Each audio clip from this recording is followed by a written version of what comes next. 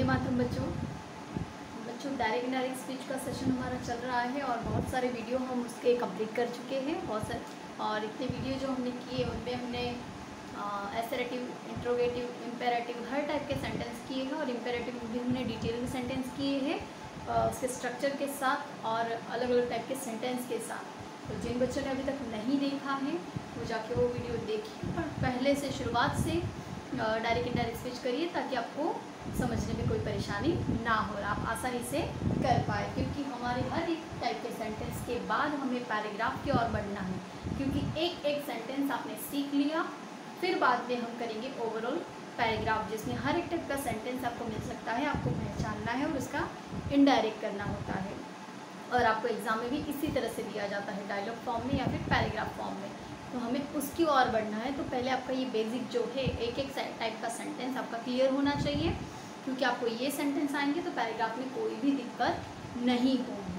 बच्चों, आज हम शुरू करने जा रहे हैं एक्सक्लेमेटरी सेंटेंस एक्सक्लेमेटरी सेंटेंस जिन्हें हम कहते हैं आश्चर्य आश्चर्यकारक वाक्य या फिर उद्गारवाचक वाक्य, ठीक है? आश्चर्यवाचक या उद्गारवाचक। जिसमें कोई किसी आश्चर्य का भाव निकलता है। अरे रे, ऐसा हो गया। अरे बाप रे। ओ वाह हम जीत गए लाइक दिस तो हमारे मुँह से ये जो शब्द निकलते हैं, ओ वाह व्हाट अ ब्यूटीफुल पिक्चर कितना सुंदर दृश्य है, कितना सुंदर नज़ारा है। ठीक है? अरे भगवान, अलास, ऐसा हो गया। ठीक है? वो गिर गए। तो इस टाइप के जो भी भाव निकलते हैं, फिर वो खुशी के हो सकते हैं, दुख के हो सकते हैं। ठीक है? कोई भी प्रकार के जो भाव हमारे भाव को व्यक्त करने के लिए जो हम इन शब्दों का इस्तेमाल करते हैं, ये एक्सक्लेमेटरी वर्ड्स है। ठीक है? देखते हैं, आज हम एक्सक्लेमेटरी सेंटेंस की कुछ रूल्स देखेंगे कि किस टाइप के सेंटेंस ये जो सेंटेंस होते हैं, इनमें क्या क्या होता है, कैसे करना होता है। सबसे पहले मैंने लिखा है, उद्गार वाक्य जो है, जिन्हें हम कहते हैं एक्सक्लेमेटरी सेंटेंस ये क्या दर्शाते हैं? तो तारीफ़, आनंद, तारीफ़, प्रशंसा, ठीक है? आनंद, खुशी, दुख या फिर गुस्सा। इन टाइप के भावों को ये व्यक्त करता है। कोई बहुत खुश है, ठीक है exclaim with joy exclaim with sorrow इस तरह से हम वाक्य में इसका इस्तेमाल करते हैं। ठीक है? एक्सक्लेम एक्सक्लेम मतलब उद्गार करना। अब वो उद्गार किस तरह का हो सकता है? खुशी का हो सकता है, दुख का हो सकता है, ठीक है? और एक्स ई बहुत सारे टाइप के आएँगे, ठीक है? तो इन भावों को ये दर्शाता है। फिर है कि भाई बोलने वाला जो करता है, इसमें ये किसके भाव होते हैं? तो जो बोल रहा है, ठीक है? रिया अस्क्लेम विद जॉय रिया ने खुशी से कहा, ठीक है? तो रिया जो है, करता है तो रिया के भाव को ये दर्शा रहा है। रिया यहाँ पे करता है तो जो करता है बोलने वाला, ठीक है? सब्जेक्ट उसके भाव को, उसकी फीलिंग्स को ये प्रेजेंट करता है, ठीक है? फिर अगला नियम मैंने लिखा है कि ज़्यादातर से ये जो वाक्य है, इनकी शुरुआत गॉड या हाउस से होती है। मोस्ट प्रोबेबली पर ऐसा नहीं कि सभी वाक्य ठीक है, लेकिन मोस्टली अरे वॉट ऐसा हुआ? हम कहते हैं ना हाउ ऐसा कैसे हुआ? हाउ ब्यूटीफुल वॉट ब्यूटीफुल इस तरह से भाव निकलते ठीक है?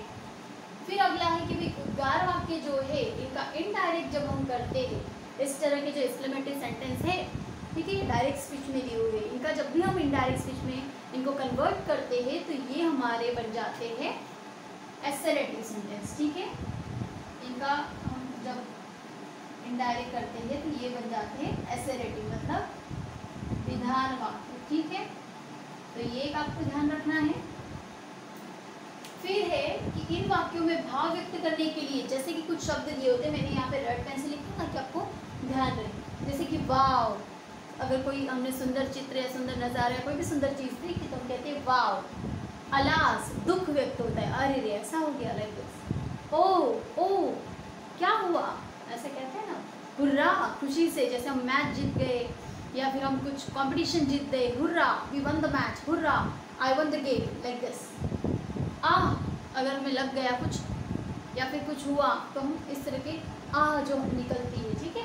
तो ये अलग अलग टाइप की फीलिंग्स है। ओ आ हुर्रा अलास तो ये कुछ आ, अच्छी या बुरी बात होने पर हमारे मुँह से ऑटोमेटिकली निकलती है। तो ये एक प्रकार के उद्गार दर्शाती है। ठीक है? तो इस तरह से शब्दों का प्रयोग किया जाता है और जो इनडायरेक्ट करते हैं ये होते हैं डायरेक्ट स्पीच के वाक्य में। लेकिन जब हम इनका इनडायरेक्ट करते हैं तो ये विधान बन जाता है वाक्य। तो ये जो शब्द है उसमें से निकल जाते हैं। क्योंकि उसके लिए हम एक्सक्लेम खुशी है वाव वगैरह लिखा है तो जॉय लगा ही रहे। दुख है तो एक्सक्लेम विथ सौरव लगा ही रहे हैं। जैसे हम इंट्रोगे इम्पेरेटिव सेंटेंस में देख रहे थे ना प्लीज़ शब्द अगर दिया है तो हम रिपोर्टिंग वर्ब रिक्वेस्टेड लगा रहे थे तो वाक्य में से हम वो प्लीज़ निकाल लेते हैं। उसी तरह से अगर यहाँ पे हम एक्सक्लेम के साथ ये भाव दर्शाने वाला शब्द लगा रहे हैं तो इन शब्दों को हम निकाल लेते हैं, ठीक है?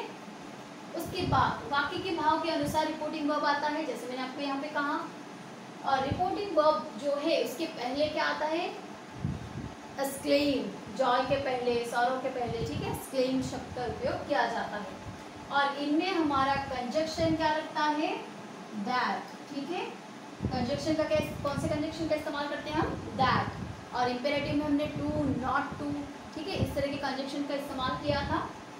यहाँ पे हमारा लगता है दैट और लास्ट वाला हमारा नियम है कि टेंस जो है मतलब एक्सक्लेमेटरी सेंटेंस में जो हम आ, काल परिवर्तन करते हैं टेंस का जो चेंज करते हैं, वो एसरेटिव सेंटेंस जो है उनकी तरह करना होता है। क्योंकि ये सेंटेंस जब डायरेक्ट से इनडायरेक्ट कर इनडायरेक्ट करते हैं, तब इसका एक्सक्लेमेटरी से एसरेटिव सेंटेंस बन जाता है। मतलब ये उद्गार वाक्य से विधान वाक्य बन जाता है तो विधान वाक्य के ही अकॉर्डिंग इसके टेंस में भी हमें बदल करना होता है।